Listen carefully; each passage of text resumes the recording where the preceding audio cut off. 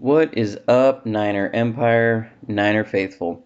Wanted to bring the video many of you have been waiting for, asking for, and that's a breakdown of Solomon Thomas playing inside last year. The kid's taken a lot of heat. He was the number three overall pick, and expectations have been really high. And there's been questions: Has he been miscast? Has he just is he just not the player that they thought he would be? Is he a player that is expendable now on our on our line? What's the deal with him? How would he even perform if we moved him inside on passing down? So uh, I wanted to show a few plays about that. One thing to understand: the kid didn't get a lot of snaps inside most of the most of the year. I think through the first 12 weeks he had maybe eight or nine snaps a game, and most of those, or only about three, sometimes four snaps of those were actually snaps uh, during passing down. So I'm going to show a number of plays here. One thing that, that to bear in mind is even though he had a few passing downs per game, that doesn't mean that he had good, what I would consider good pass rushing opportunities. Here's an example of what I mean by that. Here is week one against the Vikings. Now, we were trying to get this is DeForest Buckner on the right side. This is Solomon Thomas on the left side. We kept trying to get DeForest Buckner to what we would call the flex side or the weak side. This is what George Seifert used to do with Charles Haley. He would try and get him on the flex side of the line. Uh, from the back, from the all 22 view, you can see that there's three receivers on the left side here. That means that's the strong side. You just have a running back and another receiver over here to the right. They didn't shift, they didn't motion. So when we came out, we were trying to get DeForest Buckner on this flex side. The reason you do that is because most of the time, an offensive line is going to be sliding towards the tight end or towards the strong side because and especially if you have a running back here, he can chip and go. So what that means is that you're your inside guy on that side of line is going to be one on one versus the guard. So we're trying to get DeForest Buckner one on one. And so this is what Solomon Thomas's rush looks like. He's he has to take an inside rush because DeForest Buckner is going to be taking outside. Ronald Blair is going to be going outside. Here you see the running back is chipping on our D end, and that means now that Solomon Thomas is double teamed. And so his his inside rush gets stonewalled, and the centers got help. So that's what I saw a lot during the first 12 weeks was them trying to get either DeForest Buckner or somebody else on the flex side. And I think I counted it was about 65 to 70 percent of the time he was he was in a pass rush. It he ended up getting double teamed just like this.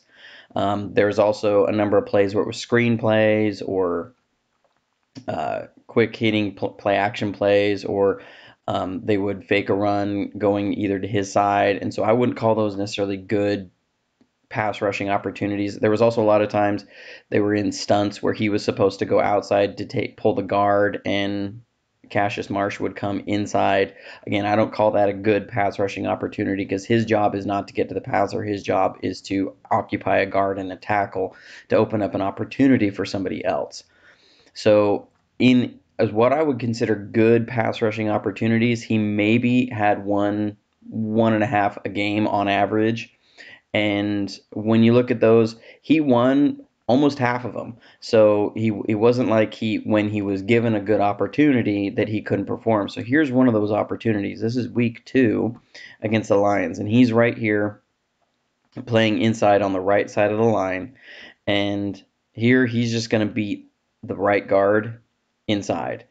And so here from the snap, he he's he comes he swats away the inside guard arm of the guard. You're going to see this move several times.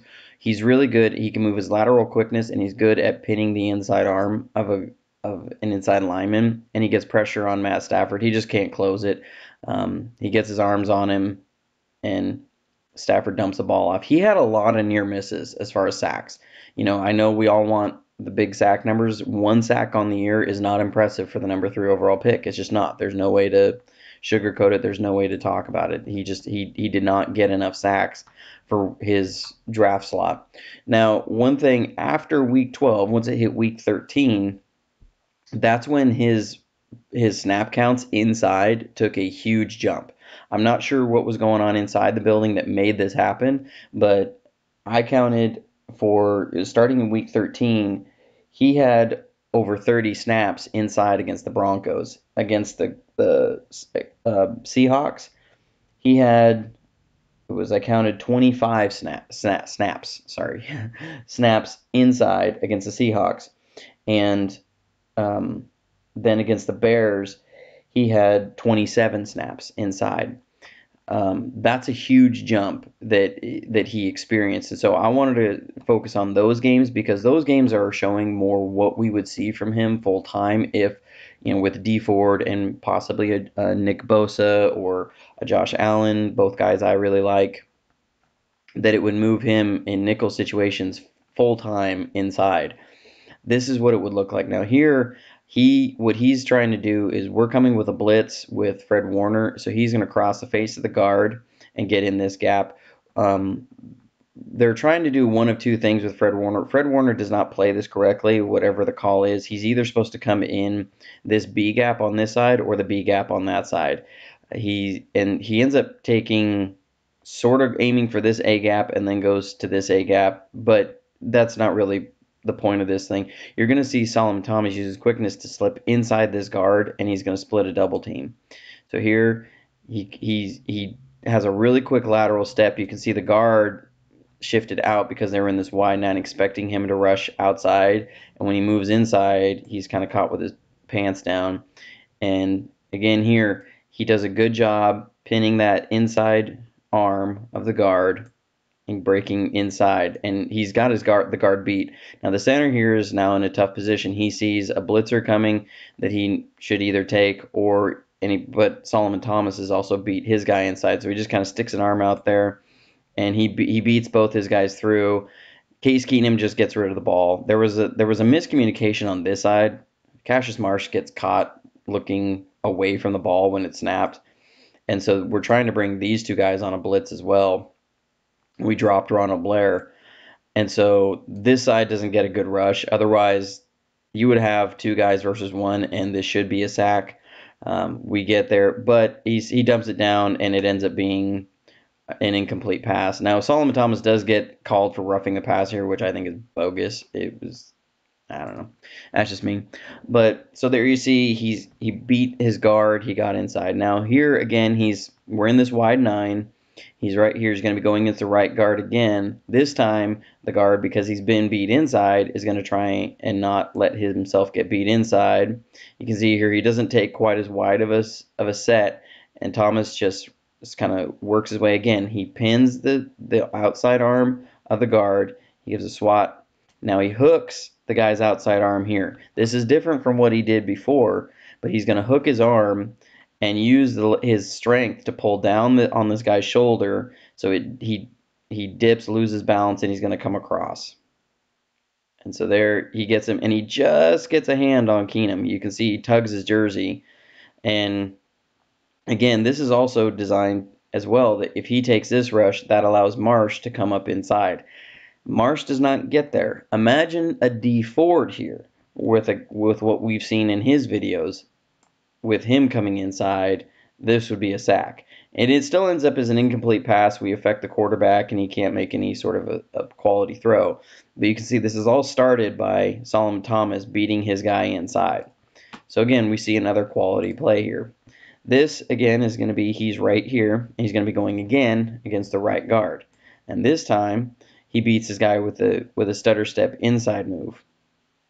So here he acts like he's going out, which he's the guy's been beat outside, and now he's again swats his arms away. He's got a really he's got really violent hands and is able to to work it. Now the guard recovers some somewhat, but you can see he's penetrated the inside of the pocket and he's making the quarterback get rid of the ball quickly.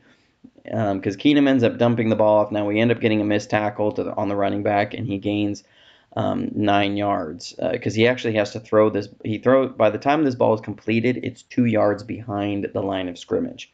So you can see Solomon Thomas again. He this is what I would consider a quarterback hurry, not a pressure, but he he's there. He's beat his man. It's what you want to see. Now here, this is against the Seahawks.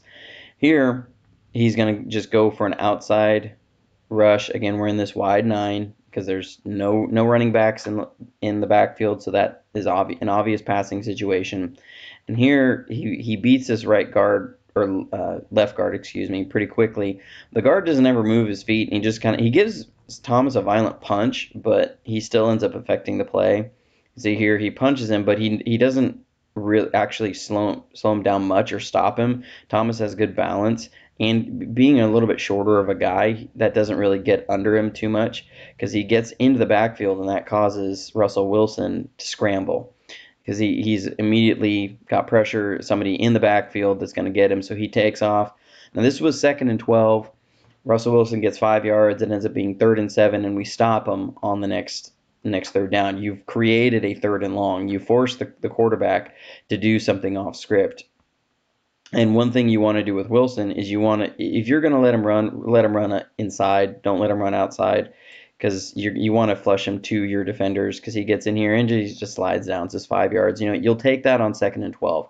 Again, here the, the guard wasn't able to match Thomas, so he gets in the backfield, affects the play. Here, um, this is later in the game. Thomas is right here. He's going to be working on the right guard now. And this time he's going to beat this guy. This is a similar move to what he did to uh, the Broncos guard. What you're going to see is he's going to jab step out. He's going to swat this outside arm. And now he, he's going to curl. I want to want to point this out. Watch what he does here. He curls up, grabs his arm, and he's going to yank down. And watch what it does to this guard.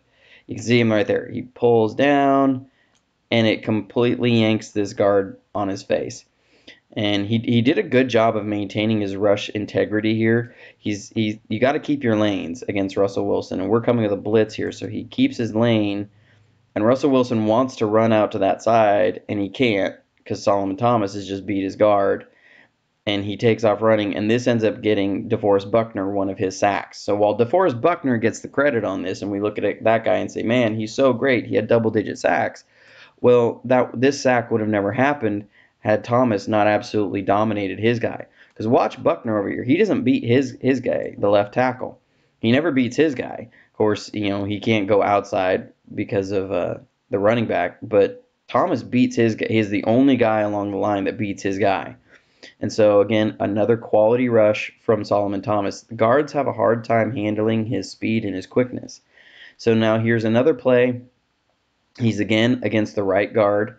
And this to me was probably one of the biggest plays of this game. This was in overtime. Now, if you watched my series on how we beat the Seahawks, you've seen this play before, but I want to show it again. He this time the guard is trying to keep himself from getting snagged, so he tries to punch here um, Solomon Thomas, and he just swats his arm away, and then he he, he gets outside, and he's just going to use his quickness. And the guard at this point is beat so bad he tackles Solomon Thomas here. Um, and he gets called for a holding penalty, which ends up being this was a third and four. They complete the pass for 32 yards, but because this guard gets called for holding, it ends up being third and 14. They pump the ball, and then we drive down and we win the game. So um, now this is the very next week. This is against the Bears. So I'm showing three different teams here again. This is what we're going to see most of the time from him. He's right here again working on the right guard and he's just going to beat this guy with an inside move. So again, he aims he aims for his outside shoulder and then cuts inside. And here he he gives the guy a violent punch. He doesn't do his his kind of hand fighting here and sweep move. He's going to punch this guy's inside shoulder. Now, I'm going to try and do this in slow motion because it's hard to see. He has an extremely violent punch here. Watch this guard's head. You're going to see it actually do a little bump because he hits him so hard and he's going to get him off balance. You see it right there, that little head nod. That's from that's from his punch. You see him punch and his head nods. That means he got his inside shoulder and inside half off balance, and the guy can't recover, and he's beat.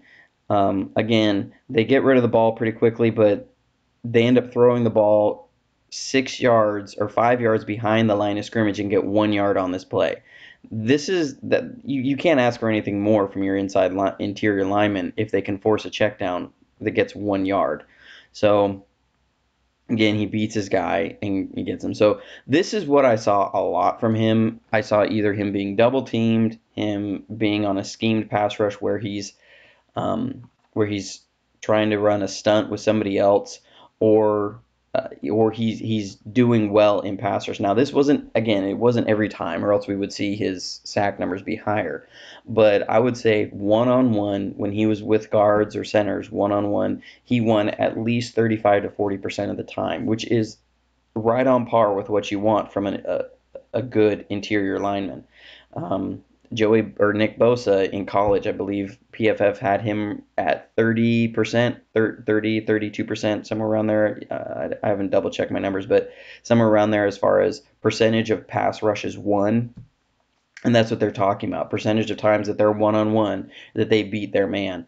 Uh, uh, elite pass rushers win about a third of, third of the time to me, he just hasn't been given enough opportunities. We've either been having to try and scheme a pass rush with him, or we've been trying to scheme, you know, DeForest Buckner open on the flex side more, and he's been facing a lot of double teams. Now he also did have moments where he had to go into a QB, excuse me, a QB spy, and I'll show those as well. So you know, while we can say, okay, he had you know X amount of snaps inside, he should have a lot more sacks. Yeah, he should. I mean, he should have more snaps. He also got had a lot of near misses, but he wasn't like he was rushing the passer on every single snap inside. Even even in this game against the Broncos, where he had uh, 20, 26 snaps inside or 31. Excuse me. Yeah, 31 snaps inside. I believe I counted it was 15 or 16 pass rush attempts he was double teamed, I believe, six or seven times. And then we had stunts going, uh, I think, seven or eight times. And so it only left three or four opportunities against the Broncos uh, for him in one on ones. And you saw with uh, several of those um, opportunities what ended up happening. So I believe with a, with some better edge presence and things, we'll be able to see a much improved Solomon Thomas and something that we can actually say, okay, maybe this was a guy that was worth the number three overall pick.